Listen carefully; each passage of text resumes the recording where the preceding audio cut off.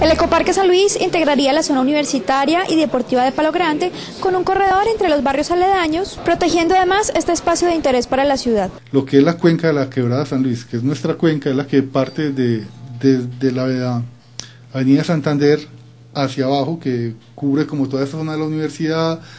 cubre la zona de la universidad, el, Jardín Botánico de la de Caldas, el Colegio San Luis, en, bueno, y, otra, y, otros barrios pues aledaños eh, lo que hemos querido es realizar una propuesta